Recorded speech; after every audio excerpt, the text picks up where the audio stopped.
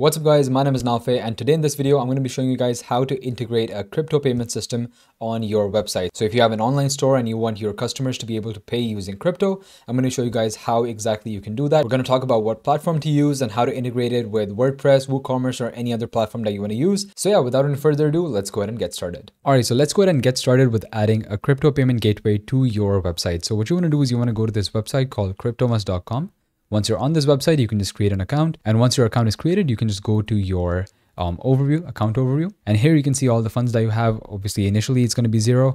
And they have a lot of different cryptocurrencies that you can get. Um, and also you can basically receive money in your personal account and send money just like you would in any other platform. So you can just click receive, select your wallet, and then, you know, select the network and it's going to give you your wallet address and everything. So uh, that's how you can receive money in this. Similarly, you can send money as well and also you have your business account which we're going to be using to basically add a payment gateway. So what we're mainly interested in is this business tab right here. You're going to click this and we can go down to api docs. So once you're on this page you're going to go down to modules. And here you're going to find all the plugins that they have available for different e-commerce stores. So the biggest one they have here is woocommerce. That's the one that i'm going to be showing you how to integrate with. But they have prestashop they have opencart uh, they have many of these options. They have magento as well. But yeah a lot of these famous e-commerce website builders are available here. So uh, you can just just select whichever one you want and then you can click uh, download right here. So I'm going to click download for WooCommerce.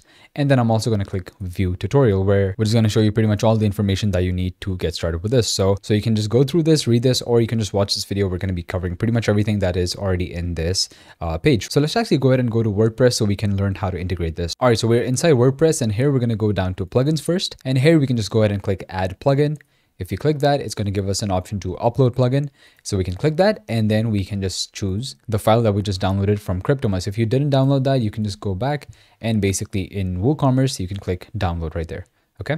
So we can just drag this in like that and just click install now. Now for me, I already do have the plugin installed, so I'm going to click cancel. But for you, it's going to ask you for a confirmation. If you want to install it, just click yes and it should be installed. After that, we can just go to install plugins and here you're going to see Cryptomus right there. First of all, you want to click configure right there. So we can basically go ahead and add some information that we need. And here it's going to ask you for two main things, basically your API key and your merchant UUID. So for this, for the merchant UID, what you're going to do is you're going to go back to Cryptomus and in here we can go to our overview again and then go to business again and then we can go to merchants this time. So if you go to merchants it's going to give you an option to create a new merchant. I already do have one created which i was testing it with but i'm just going to go ahead and create a new merchant. I'm just going to call this test two or three. Once you do that it's going to give you an option for going to setup. And then once you're at this page you can just go to merchant settings if you go here, it's going to give you an option to leave a request for um, an API key. Now, this process is moderated, which means that you're going to have to leave a request and they're going to approve it within 24 hours. We can just click leave a request. And here you can just enter a URL of your website. I'm just going to enter this, you know, random auto-generated URL that I had uh, and the name of your project as well. So I'm just going to call this test three and then we can click submit. Now, once you do that, it's going to ask for a confirmation. So they just want to confirm that the website is actually yours. So we're going to be using a meta tag. It's pretty simple. All you need to do is basically copy this and go back to WordPress. Uh, and then here, what we're going to do is we're going to go to appearance. And then inside appearance, we can go down to theme file editor. If we go here, it's going to give us access to the actual HTML code that we can edit. And we're going to have to go to header.php because back in Cryptomus, it says that we need to add this to the head tag of our site's homepage. So Let's go back to WordPress and in the header.php, if you go down to the head tag right here, you can just click enter to go to the next line and just paste what you had copied there. Perfect. So once we have this pasted, we can go down all the way to update file and just click that. After you're done with that, you can just go back to Cryptomus and click check and it should hopefully confirm. Perfect. Right there, you can see it confirmed. And then we can click confirm domain once that is done, it is basically your project is going to be in moderation, which takes up to 24 hours. Uh, so just give it some time and you're going to get the API key later. But once your merchant is approved, you can go to merchant settings and it's going to show you your API key right there. Copy that and go back to WordPress. And let's go back to plugins and Cryptomus configure. Click configure right there.